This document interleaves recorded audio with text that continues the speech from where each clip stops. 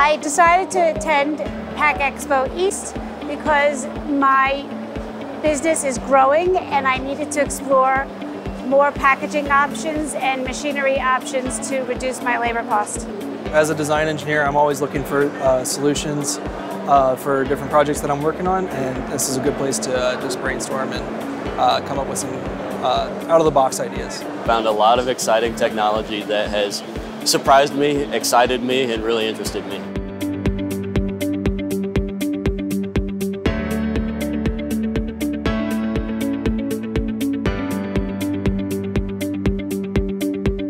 I've been able to listen to some of the seminars and just talking to the different uh, manufacturers that are here, we get to learn a lot.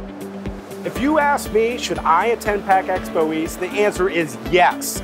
There's so much to see and do, along with all the new innovations. How are you going to get this all in one place? You can't see this on the internet. You have to see it in person. If I could describe Pack Expo East in one word, it would be exhilarating. Eye-opening.